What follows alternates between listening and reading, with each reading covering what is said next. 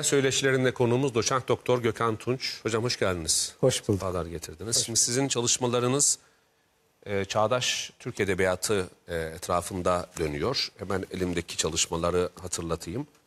E, modern Türk şiir okumaları var. Kavramlar ve kuramlarla. Şiir ve bellek, e, bu modern Türk şiirinde bellek metaforları üzerine yaptığınız bir çalışma. Bu sizin yüksek lisans çalışmanızın e, onu esas alan bir çalışma değil mi? Değil. öyle. Değil mi? Değil. Bu e, son dönemde çalıştığım bir konu. Yüksek lisansta ne Yüksek lisans tezim e, Çağdaş Meslevi'nin peşinde. Ha tamam şu. Evet. Evet. Yani Nazım Hikmet'in Ferhat e, ile Şirin'i ve Sezai Karakoç'un Leyla ile Evet, Mecnun'u alt başlığıyla Çağdaş Mesnevi'nin peşinde. E, benim çok yararlanarak okuduğum Rüzgara Karşı Duran Şair, bu etkilenme endişesi kavramı Evet. e, ve Yahya Kemal'in Türk şiirinin etkisi üzerine yaptığınız Doğrudur. bir çalışma. Ee, yine e, edisyonlar var. Behçet Ne- Necatigil üzerine yapılmış bir e, sempozyumun Evet. e, bildirilerinin değerlendiği bir Evet. kitap. Şimdi hocam ben şeyden başlamak istiyorum. Bu e, kuramlar ve kavramlarla e, veya kuramlar ve kavramların ışığında modern Türk şiirine yaklaştığımız, seçtiğiniz yani şu kabaca bakıyorum eee, sanki 30'un üzerinde şiir var burada. Bu şiirlere bu kavramlarla yaklaşarak bu şiirleri aydınlatmaya, okumaya çalıştığınız bir çalışma var elinde. Yani ne- neyi kastediyorum? İşte eee, metinler arasılık ve falanca şiir. İşte etkilenme endişesi ve Tanpınar'ın filanca şiiri. Eee işte atonal müzik ve Necati Gil'in şu şiiri. Eee Hipermetin ve işte Hüseyin e, Can Türk'ün e, işte Edip Cansever'in bir şiir üzerine yazdığı e, eleştiriye bakış. Kronotop ve Yahya Kemal'in Süleyman Hadi Bayram gibi Evet. transhümanizm de var benim de ilgimi çeken bölüm oldu. Kavramlar ve kuramlarla e, Türk şiirini kurcalamaya, aydınlatmaya, açmaya, e,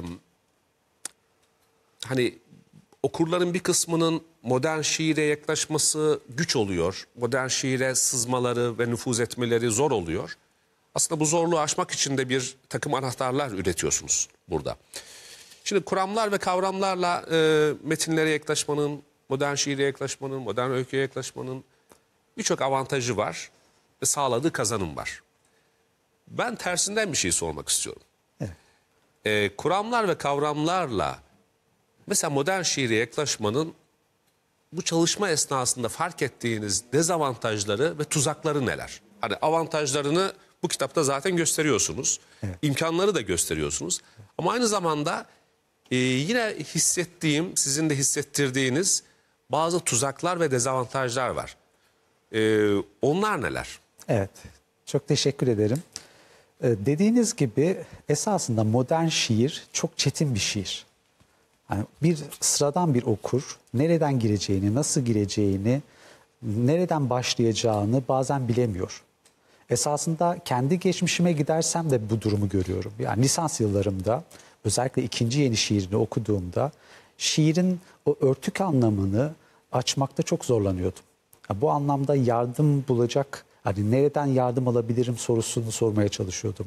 Hocalarıma gidiyordum, yakın çevreme bu konuda sorular soruyordum. Bu anlamda esasında tam da bahsettiğiniz gibi bu kitap bir ihtiyaçtan doğdu. Bu kendi kişisel... Temelde sizin ihtiyacınız Evet, bu. ke- kendi e, kendimin ihtiyacı dediğiniz gibi e, lisans yıllarıma dayanan bir ihtiyaç. Ve bu yüzden 2003'ten itibaren 2022'ye kadar ki hala bu konu üzerinde kafa yoruyorum. e, süreç içerisinde düzenli olarak bu konu üzerinde kafa yorup nasıl şiirleri nasıl açabiliriz? O şiir arkeolojisi dediğimiz durumu nasıl gerçekleştirebiliriz? Şiirin dediğiniz gibi katmanları var.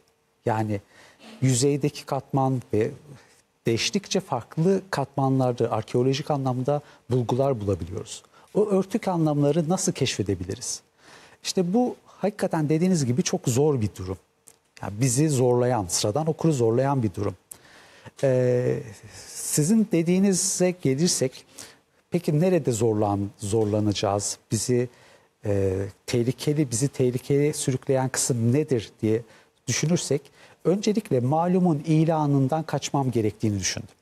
Çünkü bazı şiirler zaten yüzeydeki anlamı herkes görebiliyor. Peki ben o şiire artı ne verebilirim? Öncelikle bu soruyu sordum. Eğer ki bir keşif işlemi yapmayacaksam, çünkü şiir yorumu bence bir keşiftir, bir anlam keşfidir. Sizi, okuru e, sizinle birlikte farklı bir dünyaya götürürsünüz, farklı bir anlama götürürsünüz.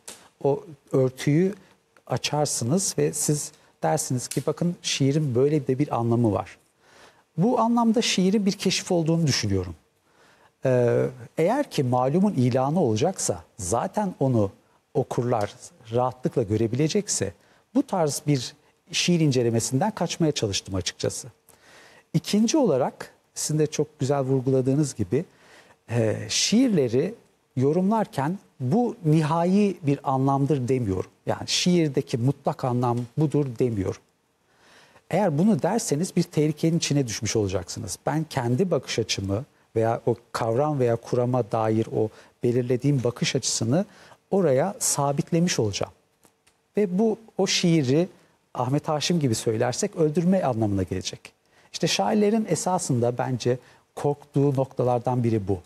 Yani şiirdeki o çoğul anlamı, o anlam olasılıklarında sınırsız bir anlam olasılığı olabilir. Siz onu sabitliyorsunuz ve teke indirgiyorsunuz. Evet.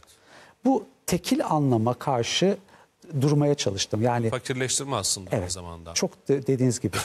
çok gü- güzel söylediniz. Şiir yorumu bir zenginleştirmedir.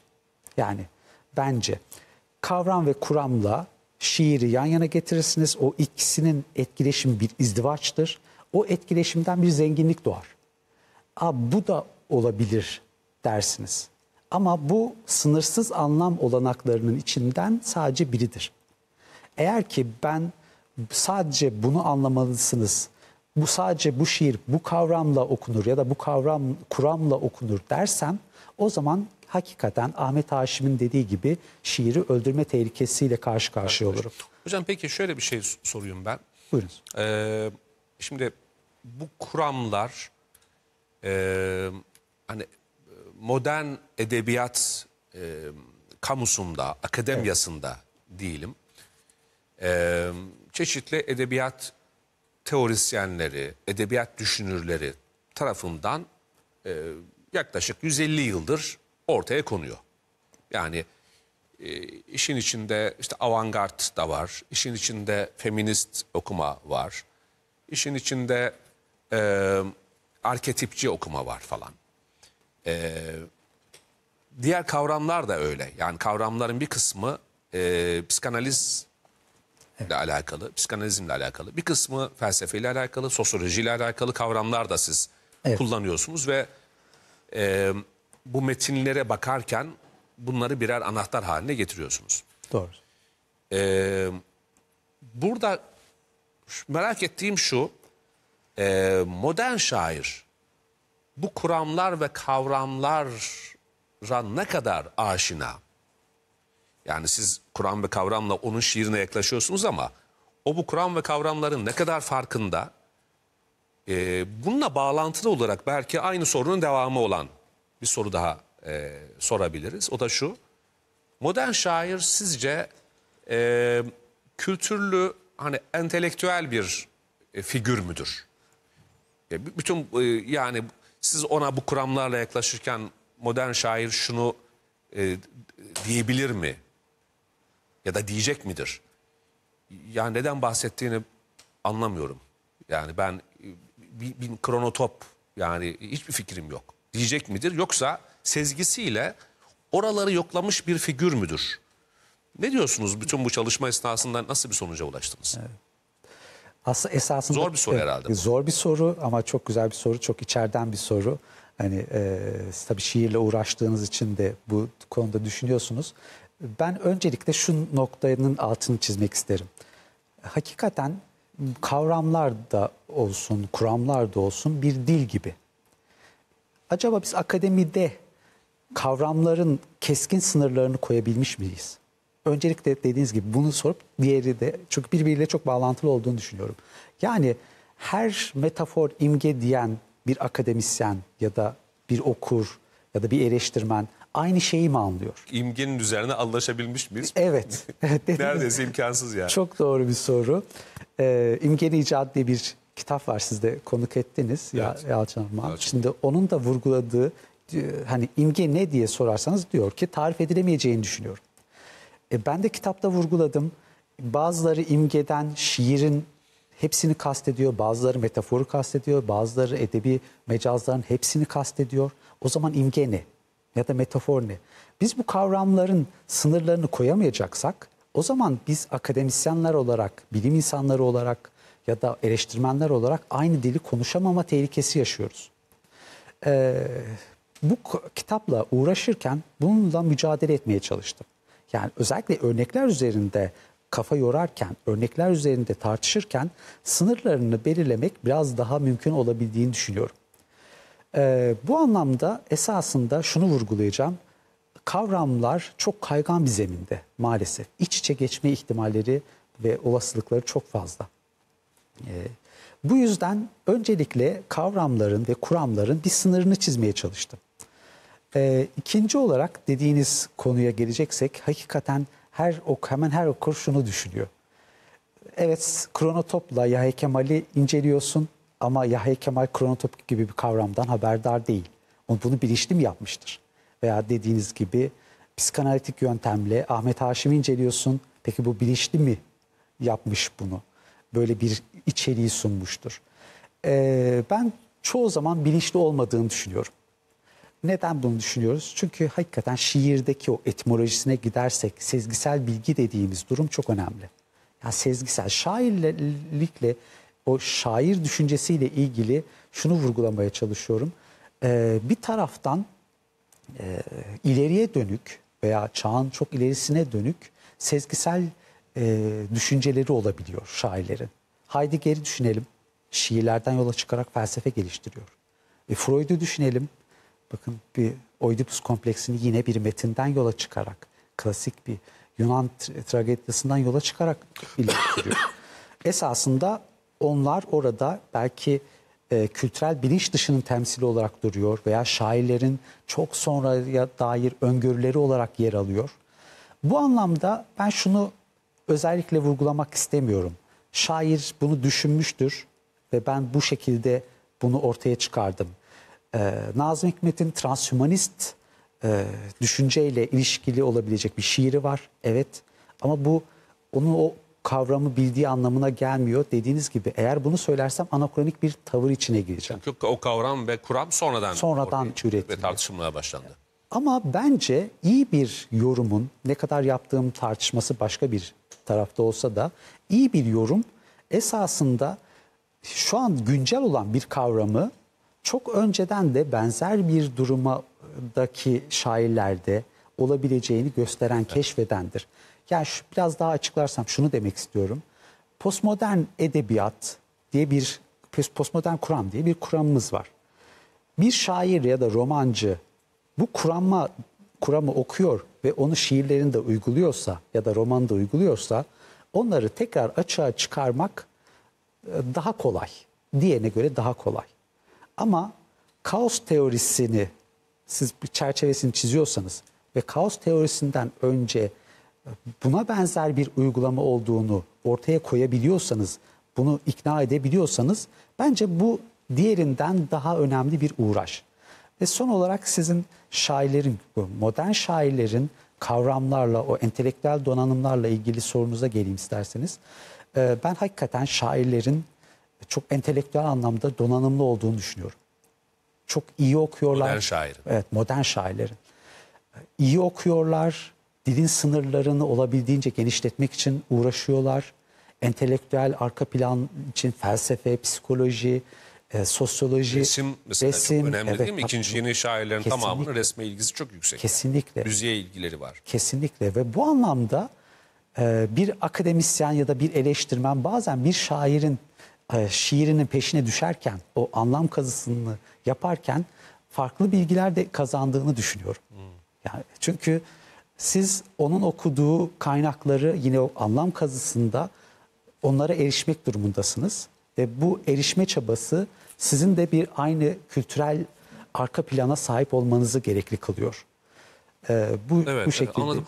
Şöyle bir şey de var zaten değil mi hocam? Yani e, nihayetinde şiir e, e, yani insanlığın genelinin Evet. e, paylaşabileceği ya da paylaştığı ya da paylaşması muhtemel bir e, insanlık durumuna ışık düşüren bir metin. Kesinlikle. Dolayısıyla aslında e, yani metin çok eskimiş gibi görünse de Evet. çok arkaik bir metin gibi görünse de insanın temel ızdırabı, insanın temel korkusu, sevgisi, e, insanlık durumuna dair temel yönelimler e, çok değişmiyor zaten. Kesinlikle. Dolayısıyla aslında e, iyi metinler hiç eskimiyorlar. Yani yeni bir kuram, e, yeni bir kavram tekrar o metne baktığı zaman o metin tekrar canlanıyor, tekrar tazeleniyor. Aslında e, sizin bu okumalarınızda bana bunu e, ilham. Yani e, metinlerin nasıl canlanabileceğini, e, düşünceyle sanatın bir tür çarpışması ve kıvılcımlanması esnasında nelerin ortaya çıkabileceğine dair örnekler olarak Çok görüyorum. doğru. Şimdi hocam e, bu makinalaşmaktan bahsettiniz e, Nazım Hikmet'in. Evet. Bu ki- şeyde e, modern Türk şiir okumalarında var bu. Evet. Transhümanizm bağlamında ele aldığınız e, şeyi. E, belki şiirden bir bölüm bulup okursak e, ilk defa duyan izleyicilerimiz neyi kastettiğimizi anlarlar. Sayfa 100 evet şurada Ee, özellikle şurası değil mi?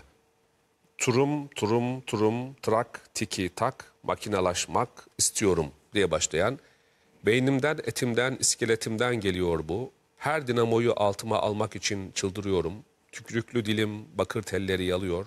Damarlarımda kovalıyor otodirezinler lokomotifleri diye devam ediyor. Bu şiirde bir şey görüyorum hocam ben. Bilmiyorum katılır mısınız?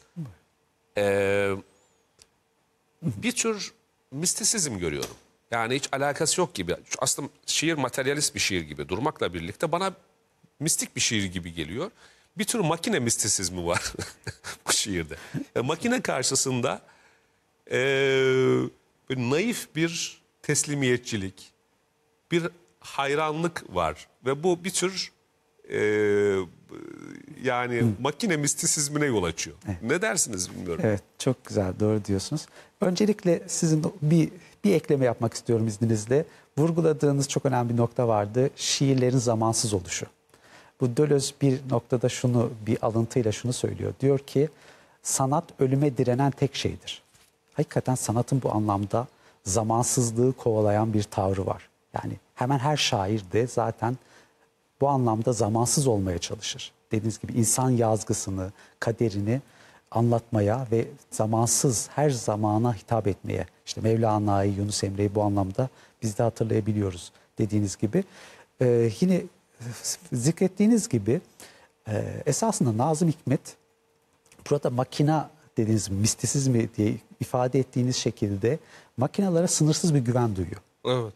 Yani Hayranlık var. hayranlık duyuyor. Transhümanizmin de mantığında esasında ölümsüzlük makinalarla kavuş ölümsüzlüğe makinalarla kavuşulacaktır. Esasında o hani e, tırnak içinde söyleyeyim Tanrı'nın yerine makinaları koyma durumu. O mistisizm dediğiniz e, doğru zikrettiğiniz durumda tam buna tekabül ediyor. Yani ben vücudumu makinalarla insan ve makina birlikteliği ile beraber sonsuzluğa erişeceğim. E, ölümlü varlığımı sonlandıracağım. Evet. Bu an bu anlamda dediğiniz çok doğru. Hakikaten bir makina mistisizmi var. Ee, Nazım, Nazım'dan konuşmuşken Nazım Hikmet'in Ferhat Taşer'ine ve Sezai Karakoç'un Leyla Mecnun üzerine Evet. Çağdaş Mesnevi'nin peşinde kitabınız e, var. Ee, bir de Nazım Hikmet'in e, yine tarihe dönüp büyük bir anlatı kurmaya çalıştığı Evet. Şeyh Bedrettin Evet.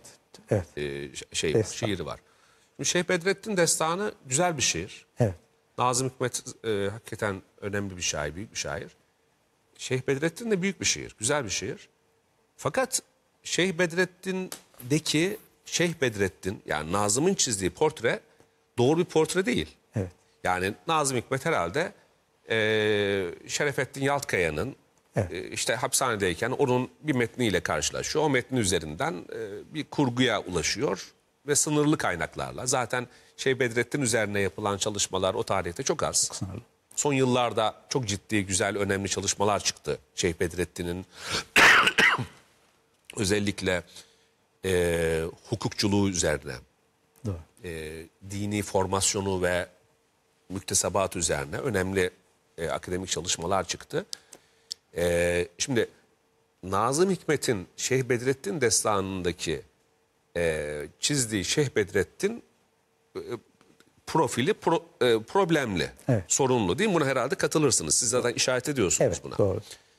Ama buna rağmen şiir e, güzel bir şiir, iyi bir şiir. Bu çelişki hakkında ne söylersiniz? Yani bir şiirin e, içindeki e, bilgi diyelim, e, şiirin merkezindeki e, figürün tarihsel olarak gerçek dışılığı ile şiirin aynı zamanda edebi olarak değerli olması. Ortada bir çelişki var. Normalde hani akademik bir metin olsa hemen şunu söyleyebiliriz. Yani doğru bilgi yoksa güzel olamaz. Evet. Yani e, güzel olması için bir akademik metnin aynı zamanda bilginin doğru olması lazım. Güzel ve doğru birleşiyor orada ama şey Bedrettin'de böyle değil. Yani e, yanlış ama güzel. Bu çelişki hakkında ne söylersiniz? Evet. O Fuzuli'nin ünlü sözü, şair sözü elbette ki yalandır diye. Ee, tabii burada dediğiniz gibi gerçeklikten başka bir düzleme kayma. Ee, şunun özellikle vurgulamak isterim. Bazı o yorumlarda okuma tahakkümü dediğimiz durumlar oluyor. Mesela ne kastediyorum okuma tahakkümüyle? Nazım Hikmet gibi bir şair deniliyor ki sadece Marksist ideolojiyle yorumlanabilir. Ben buna karşı çıkmaya çalışıyorum. Çünkü okuma tahakkümleri bizi sınırlar, bizi çerçevelendirir ve belirli bir alanın dışına çıkmamıza müsaade etmez. Bence şiir bir e, nasıl söyleyeyim kaleidoskop gibidir. Yani orada her kavram ve her kuram o kaleidoskopu farklı şekilde döndürür ve bambaşka bir görünüm kazanır. Şiirlerde böyledir. Ben hani şiirlerde her kavram veya her kuram o şiirin bambaşka bir güzelliğini ortaya çıkarır. Çiçek dürbünü misali biraz önce vurguladığım misalde. Bu anlamda şu soruyu sormaya çalıştım. Dediğiniz gibi bir tarafta transhümanizmle okudum, bir tarafta da gelenekle ilişkisi nedendir sorusunu çok e, net bir şekilde ortaya koydunuz. Hakikaten Nazım Hikmet de biliyor e, Şeyh Bedrettin'in Marksist ideolojiyle alakalı olmadığını. Ama ne yapmaya çalışıyor? Fütürist diye o alımladığımız, okuma tahakkümünde böyle konumlandırdığımız Nazım Hikmet geleneğe yaslanıyor. Gelenek esasında bizim sadece estetik ideolojiyle yorumladığımızın dışında bir e, şairler için mücadele alanına da dönüşebiliyor. İşte o kitapta tam da onu vurgulamaya çalıştım. Nazım Hikmet esasında diyor ki Mehmet Akif Ersoy Hazreti Ömer menkıbelerinden yararlanmış. Biz diyor ki tırnak içinde silah diyor. Diyor biz bu silahtan neden yararlanmayalım? Yani geleneği e, kendi ideolojisi doğrultusunda dönüştürme, geleneğin icadı veya işte Ferhat ile Şirin'de de geleneğin meşrulaştırılması. Ne yapıyor mesela Ferhat ile Şirin'de? Ferhat e, normalde Şirin'e duyduğu aşktan hak aşkına kayarken Klasik anlatı. klasik anlatıda e, Ferhat ile Şirin'de Nazım Hikmet şunu yapıyor. Ferhat Şirin aşkından halk aşkına kayıyor. Yani çıkış mertebesi. Hakkın yerine halkı koyuyor. Yani o klasik söylemin içerisinden bir karşı söylem oluşturuyor. Bunu dediğiniz gibi gerçeklikle olan ilişkisi onu çok ilgilendirmiyor. Biz o söylemi esasında ideolojisini meşrulaştıracak bir zemin olarak kullanıyor ya da gelenek icat edecek bir alan olarak kullanıyor. Ama orada sanatçı dehasıyla dediğiniz gibi başka bir tarafa kayıyor. Hakikaten güzel bir şiir ortaya çıkıyor. Evet. E, Bir de e, geleneğe şey yaklaşıyor. Yani kompleksiz yaklaşıyor. Evet. E, ve hani orada e, gerekirse e, dönüştürme, Evet. hatta biraz ileri gidersek çarpıtma. Ee, ama nihayetinde ortaya e, edebiyatın ve şiirin kendi iç ölçüleri bakımından edebi mi? Evet. Şiir mi? Evet. Dedirten bir metin ortaya çıkartıyor. Yani temel kaygısı o aslında. Evet dediğiniz gibi. Ee, şimdi bu rüzgara karşı duran şair e, Yahya Kemal etrafında Yahya Kemal Türk şiirine etkisi e, biraz tahakkümü. E, aynı zamanda Ahmet Haşim söz konusu olduğu zaman da herhalde e, etkilenmesi üzerine e, bir kitap, bir çalışma. Evet. Bu herhalde siz e, bütünlüklü olarak düşünüp tasarladığınız bir çalışma değil mi? Doğru, Yani doğrudur. makale makale yazdığınız değil, Değil o. tasarladığınız bir çalışma. Ben e, bu çalışmanın hakkında yani içinde neler var e, ondan biraz bahsetmek isterim. E, şimdi etkilenme endişesi kuramı Bloom'un e, Evet. kitabıyla birlikte Türk okurunun da artık aşina olduğu bir e, kavram. Siz bu kavramı Yahya Kemal e, e, meselesine uyarlıyorsunuz. Yahya Kemal ile Ahmet Haşim arasındaki ilişkiye, Tanpınar arasındaki ilişkiye, Nazım Hikmet arasındaki ilişkiye, Faruk Nafiz arasındaki ilişkiye, e, Orhan Veli arasındaki ilişkiye, sonrasında da ikinci yenide Nazım Yahya Kemal'in nasıl e, algılandığı, alımlandığına dair bir bölümle e, bitiriyorsunuz. Şimdi burada ben e, şey dikkatimi çekiyor. Bir baba şair olduğunu gö- gö- gösteriyorsunuz. Yahya Kemal bir baba figürü e, Türk edebiyatı açısından. Bir yanıyla da e, etrafındaki yakın çevresindeki şairlerin biraz önünü kesen de bir şair. Bunu bazen e, kasıtlı yapıyor, bazen de farkında olmadan yapıyor gibi. E, bunun psikolojik sahipleri nelerdir sizce? Yani burada bir e, özgüven mi var? E, iyi bir şair olduğunun bilincinde olarak şiir budur fikri mi var? E, Fransa'dan dönmüş e, kafasında yeni şiir hakkında bir güçlü fikirle dönmüş. Bu fikre olan güven mi var? Kıskançlık mı var? Nedir yani bu o olayın e, yani psikolojik sahipleri arka plan hakkında ne düşünüyorsunuz? Ee, esasında tam da dediğiniz gibi Yahya Kemal bir baba figürü gibi. Fransa'dan geldikten sonra çok az şi- şiiri bilindiği halde e, çok ünleniyor. Çok fazla bir hayran kitlesine sahip oluyor. Ya bu bu çok fazla şaire nasip olmayan bir durum. Olmayacak bir şey evet. Evet bir rüzgar hani o rüzgar metaforunu da oradan bir rüzgarı arkasına alıyor ve o rüzgarla beraber e, bunu Turgut Uyar'ın ifadesiyle bir mit oluşuyor. Yani Tanpın, Yahya Kemal miti. Bu kendi şiirini de aşan bir tarafı olduğunu da bazı şairler ifade ediyor. Esasında dediğiniz gibi Yahya Kemal bunu neden yapabilir? Burada kolektif bilinç dışını ön plana çıkaracağım. Çünkü orada kitapta etkileme arzusu diye bir kavram öne sürmeye çalıştım. Bu kavramla neyi kastettim? Şunu, Bloom Batı uygarlığını merkeze alarak doğal olarak e, çocuk merkezli olaya bakıyor. Yani çocuğun babayla kurduğu şiirsel mücadele ve o şiirsel mücadeleden sonra özgün şiir geliştirme çabasını esas alıyor ve ona odaklanıyor. Fakat bizim gibi gelenek doğu geleneklerini esas alan bir toplumda tabii ki babanın rolü ve e, yatsınamaz önemde. Yani babanın gözünden de olaya bakmamız gerekiyor.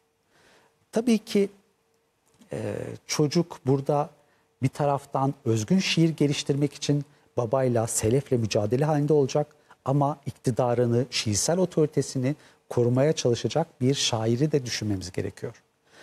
Bu kavramı öne sür- sürerken tabii sürme durumunda e, Yahya Kemal bana çok ışık tuttu. Çünkü Yahya Kemal sizin de ifade ettiğiniz gibi bu baskın rolü etkileme arzusu için çok önemli bir durum. E, kitapta da görmüş, siz de biliyorsunuzdur. E, Tanpınar'ın Ahmet Kutsi Tecer'e yazdığı bir mektup. Mektupta şu, şunu diyor, diyor ki Ahmet Muhip Dranas'ta ben otururken Yahya Kemal geldi. Ve bize bizim yarım saat bizim nesrimizi övdü. Fakat konuşmasının sonunda şunu söyledi. E, şiiri bırakın. Şiir benimle bitti. Tamam. Ee, fakat çok etkilemiş. Günlüklerine yazmıştı. Mektuplar mı yazmıştı? Mektupta e, Ahmet Kutsi Tece'ye yazdığı mektuplarda var.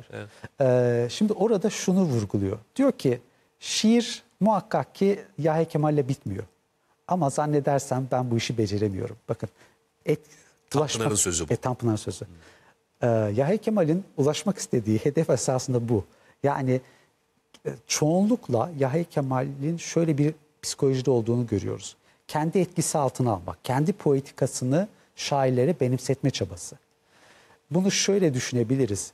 Ee, oğulsuz babanın de, kendi devamının olamayacağına yönelik korkusu.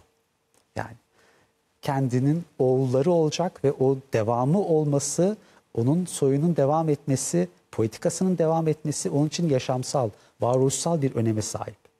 Yahya Kemal ne zaman ki mesela Faruk Nafiz Şamlıbel kendi onun poetikasının dışına çıkacağını hissederse araya mesafe koyuyor. Tanpınar'da da bu durum var. Biliyorsunuz Tanpınar diyor ki Yahya Kemal bize setli Çin oldu. Çin setli oldu. Çin Seddi. Evet. Yahya Kemal'in dediğiniz gibi sınırlandırıcı, kastı edici bir rolü var. Etkile, etkileme arzusunda diğer şairleri. Fakat başka şairlerde de aynı durum yok mu? Nazım Hikmet mesela Orhan Kemal'i e, düz yazıya yönlendiriyor. Şiir değil. Yani e, hapiste karşılaştıkları zaman Orhan Kemal'in şiirlerini okuyor. Evet. Ve onları hiç beğenmiyor değil Hiç mi? beğenmiyor. Önce kendisi gibi yaz, Bat falan diyor hatta Evet. herhalde. Önce kendisi gibi yaz, yazdırıyor. Hani Orhan Kemal başkalarını okuttuğunda şunu söylüyorlar. Bu Nazım Hikmet'in şiiri olmuş diyorlar. Sonradan da düz yazıya yönlendiriyor. Aynısını Cemal Süreyya'da görüyoruz. Cemal Süreyya e, aynı evde iki şair olmaz diye eşine mesela şiir yazdırmadığı konuşuluyor. Bu tarzda esasında kolektif bilinç dışı anlamında bu şiirsel otorite sahibi olduğunu düşünen şairlerin e, diğer şairleri etkileme, onları kendi poetikasına benimsetme çabalarının olduğunu görüyoruz. Dediğiniz gibi Yahya Kemal bu anlamda çok baskın bir figür. Yani Şimdi e, Tanpınar gibi evet. e, yani son derece yetenekli, donanımlı, birikimli birinin Yahya Kemal'i e, aşamamış olması bana çok ilginç geliyor. Yani Yahya Kemal ölünceye kadar da çok ciddi bir şey yazmıyor, yayınlamıyor. Bunun sebebi nedir acaba? Ee, esasında hakikaten çok erken bir zamanda karşılaşıyorlar. Yahya Kemal ile Ahmet Hamdi Tanpınar işte üniversitede hocası oluyor. Ama diyor ki ben üniversiteye gitmeden de onun şiirlerini okuyordum ve onun şu şu şiirlerine hayrandım diyor. Yani Tanpınar işte 20'li yaşlarındayken 20, evet. Yahya Kemal'le Yahya. Kemal'le tanışıyor ve olgunlaşması mesela diyor ki şiirdeki ilk hocam ve tek hocam Yahya Kemal oldu diyor. Ve ilginçtir mesela Antalyalı genç kıza tabii kız olmadığını sonradan öğrendik ama e, o kalıplaşmış ismiyle mektubunda şunu ifade ediyor. E, ben Yahya Kemal'e şu şu konularda evet e, borçluyum. Şiirdeki mükemmelliyet konusunda, dil hassasiyeti konusunda ona borçluyum. Fakat benim estetiğim hakikatte farklı. Hakikat kavramının altını çizmek gerekiyor. Diyor estetiğim Valeriye, Valeri estetiğine bağlı. Ya da o bağlı ifadesinden emin olamasam da. Bakın bir babadan kaçıp, onun etkisinden kaçıp başka bir babaya yani uzaktaki bir babaya sığınma çabası. Çünkü e, Yahya Kemal'in taklitçisi, mukallidi ve muhakkibi olduğuna yönelik Mehmet Kaplan'dan alıntılayarak söylersem çok fazla e, yaftalanmaya maruz kalıyor. Onun gölgesinde, kalmış Gölgesinde figür. kal. Evet. Ve biliyorsunuz sırf bu yüzden e, Bursa'da zaman şiiri Yahya Kemal'in şiirlerini çağrıştırdığı için onu kitabına almak istemiyor. En meşhur şiir. En meşhur şiiri. Ve e, Yahya Kemal adlı kitabında Tanpınar Ahmet Haşim'i şöyle suçluyor. Diyor ki tarihle alakasız adam. Bakın şiirlerini kastediyor. Haşim'in şiirleri. Haşim'in tarihle şiirleri. alakasız. Evet. Ki hakikaten Yahya Kemal kitabı çok önemlidir Tanpınar'ın. E, Ben çok e, beğenirim. Orada diyor ki Ahmet Haşim için dediği ifade tarihle alakasızdır diyor. Ve bu yönden eleştiriyor. Bakın aynı durum kendi şiirleri için de geçerli. Çünkü bir tarafta tarihle ilgili olmasını istiyor. Bursa'da zaman gibi bir şiir yazıp bir esasında bir poetika geliştirmeye çalışıyor. Ondan ayrı Bursa olması da çok önemli. İstanbul değil, Bursa'yı seçiyor. Bursa, evet. İşte Osmanlı'nın kuruluşunu ve orada e, lirik bir şiir yazmaya çalışıyor. Yahya Kemal'in o e, epik şiirinin karşısında lirik bir şiir yazmaya çalışıyor. Ama yine de o mukallit yaftasını yemekten kaçınamıyor. Ve bu yüzden dediğiniz gibi mesela İstanbul'da şiirlerinde geçmez ama romanlarının bildiğiniz gibi baş Herkesin kahramanlarından baş biri. kahramandır. Evet. Haşim'le Yahya Kemal, Ahmet Haşim Yahya Kemal ilişkisi de problemli biraz. Evet. Şimdi ben e, şunu e, kitapta görebiliyorum. Yani e, Ahmet Haşim Yahya Kemal'den etkilenmiş. Evet. E, yani baba özellikle dildeki sadeleşme çabası. Evet. Yahya Kemal geldikten sonra yazdığı şiirlerde daha net görülebiliyor.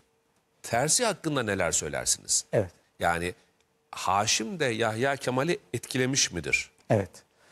Etkilemiştir. Ya esasında o yüzden düşman kardeşler ifadesini kullandım. Böyle bir metaforla o ikisinin ilişkisini anlatmaya çalıştım. Çünkü Ahmet Haşim bir mektubunda şöyle diyor. Diyor biliyorum diyor bir dakika bile benim yanımda mutlu olmadın. Benim yanımda huzur, Kime huzurlu olmadın. mektubu? Yahya Kemal'e Yahya yazıyor. Kemal'e. Ve diyor ki ama diyor ikimizin de ruhu aynı cinsten. Diyor mutlu olmadın benim gibi ama mutlu olmayacaksın. Mealinde bir e, mektubu var, ifadeleri var. Esasında buradaki melal kavramını da altını çizmek isterim. Melal kavramı çok önemli. Ee, hakikaten poetikaları birbirine çok yakın. Hani hangisi hangisinden etkilenmiştir özellikle birisi musiki deyip diğeri deruni ahenk kavramını kullanıyor. İşte ikisinin de e, saf şiire yakın duruşu ki bunu şöyle ifade ediyor Yahya Kemal yine etkileme arzusuyla açıklayabileceğimiz tarzda. Diyor ki bir akşam otururken ben şiirle ilgili düşüncelerimi söyledim. O da dedi evet diyor Yahya Kemal şiir tam da senin dediğin şeydir. Diyor ondan sonra şiir hakkında bazı mülazaları yazdığını söylüyor. Diyor o benim düşüncelerimin tesiriyle yazdı ama diyor benim etkimden kaçmak için e, sembolistleri bir kalkan olarak, kalkanın da altını çizmek gerekiyor, kalkan olarak kullandı. Yani benim etkim altında ifadesini kullanıyor. Fakat dediğiniz gibi karşılıklı bir ilişki var. O yüzden kardeşler esasında neden? Çünkü melal duygusu, o anneyle kurulan ilişki ve o bazı metafor ve imgelerin Yahya Kemal'e çok yakın olduğunu görüyoruz. Yahya Kemal esasında iki boyutlu bir durumu var. Yani bir tarafta epik bir şair, Tarih var. tarih var. Evet. Medeniyet meseleleri medeniyet var, var. doğru.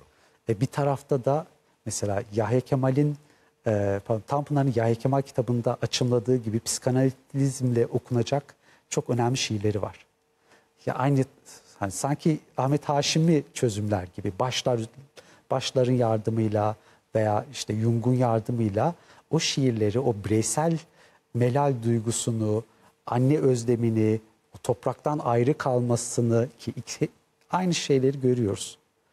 Bu, bu anlamda özellikle metafor ve imge anlamında e, Yahya Kemal'in Ahmet Haşim'den etkilendiğini görüyoruz.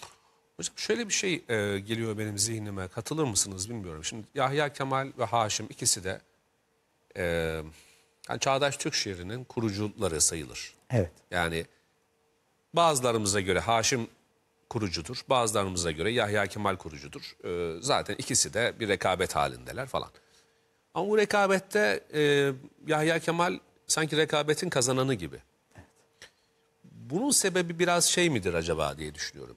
Ee, yani Haşim'in daha içe dönük olması, daha bir muhit ve çevre adamı olmaması, Yahya Kemal'in teşkilatçı olması, çevre adam yani etrafında insanları topluyor olması.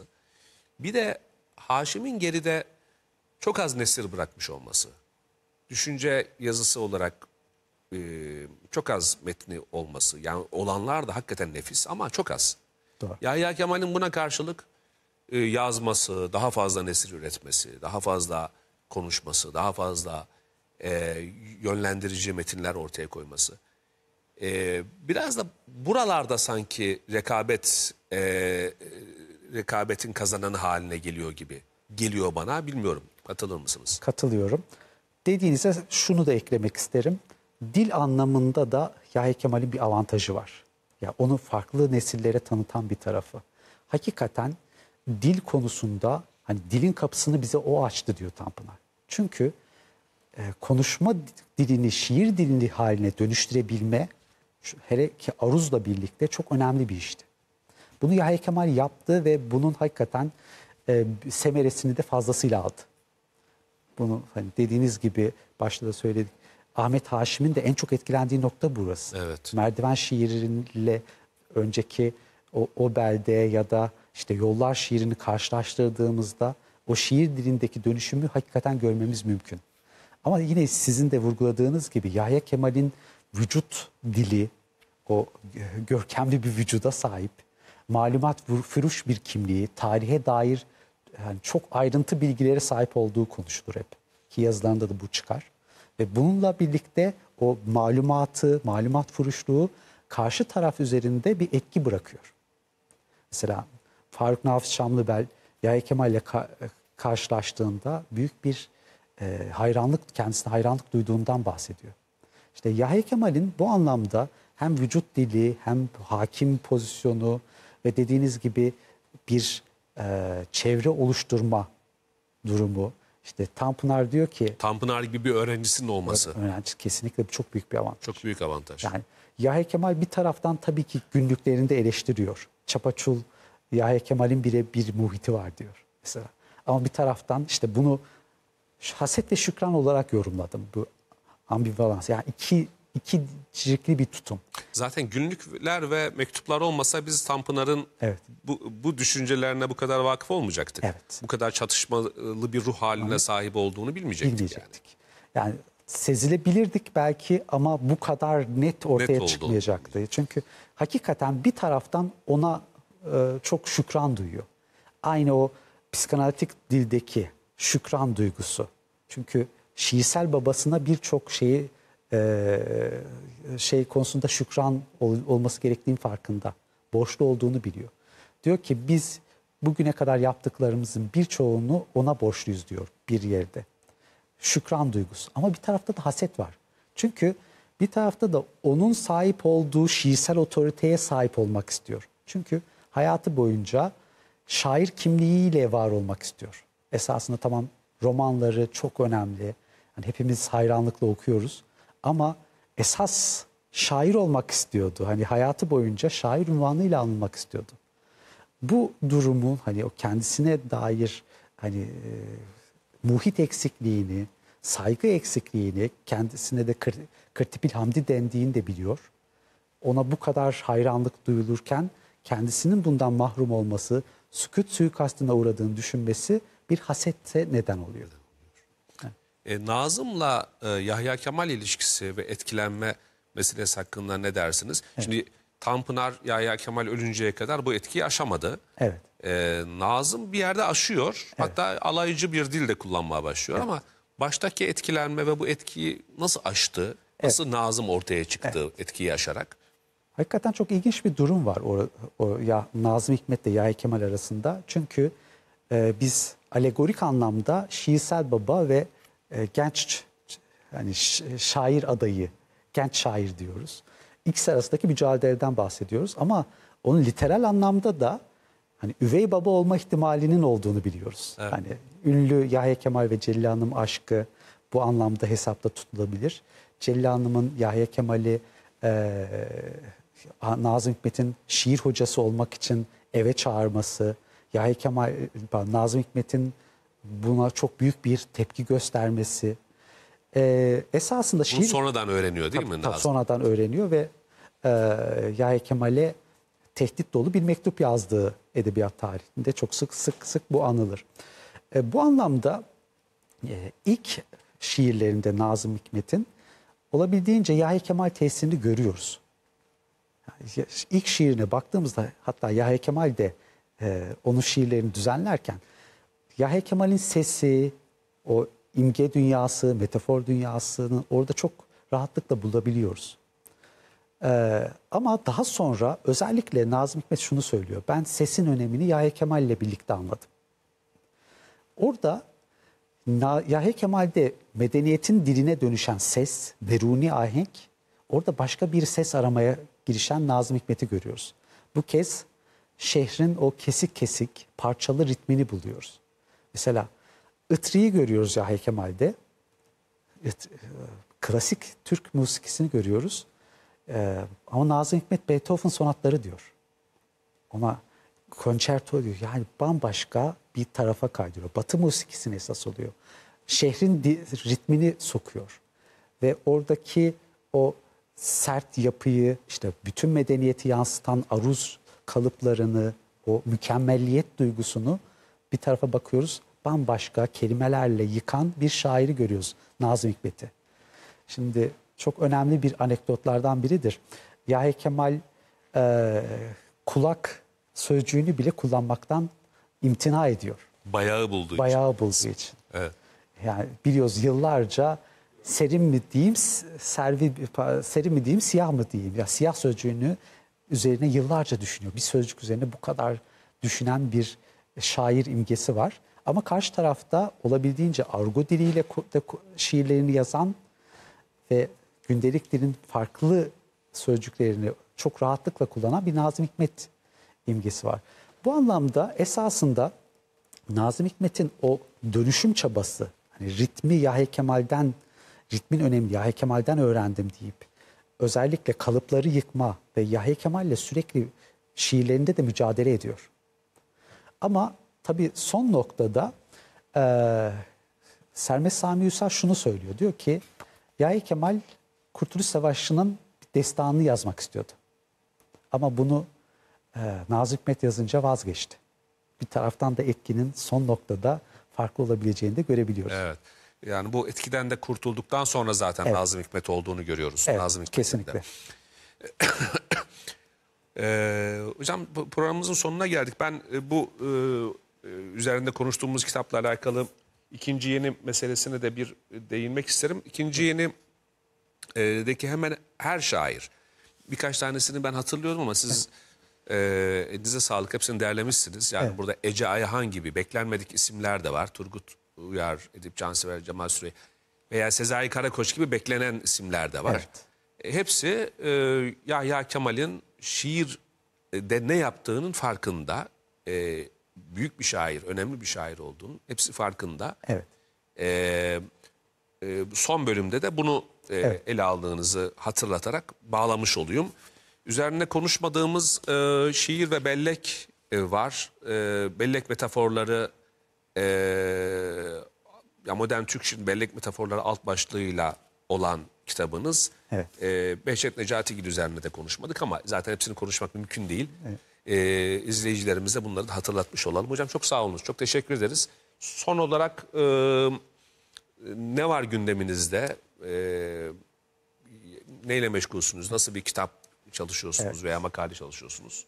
Öncelikle beni davet ettiğiniz için çok teşekkür etmek isterim. Benim için de çok zihin açıcı bir sohbet oldu.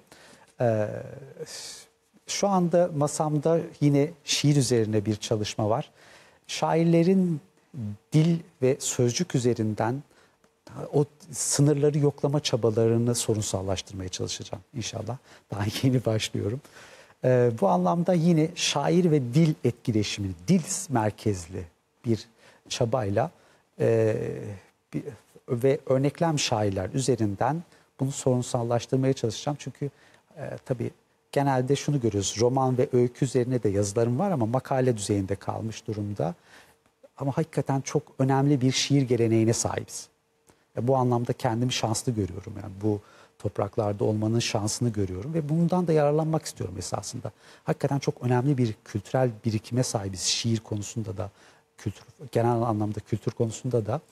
Ee, bu bağlamda tabii ki şiir üzerinde yoğunlaşmayı yine bu kitap merkezinde devam etmeye çalışacağım. İnşallah. Hakikaten dediğim gibi modern şiirin çok çeşitli olduğunu görüyoruz. Çok farklı politikaların e, ve çok farklı çabaların olduğunu, hala yaşayan dönem- Kımıldadığını, hala dönüştüğünü. Dönüştüğünü Her görüyoruz. 10 yılda bir, e, 20 yılda bir bir Evet. şiirin bizde tekrar e, bir daha e, neredeyse kabuk değiştirdiğini, Kesin. neredeyse viraj aldığını falan görüyoruz. Peki hocam kolay gelsin. Çok teşekkür Çok ederiz. ben sağ teşekkür olun. ederim. Ayaklarınıza sağlık. Edebiyat Söyleşilerinde bugün Gökhan Tunç hocamızla birlikteydik. Yeni bölümlerde, yeni konu ve konuklarla karşınızda olmayı ümit ediyoruz. Hoşçakalın.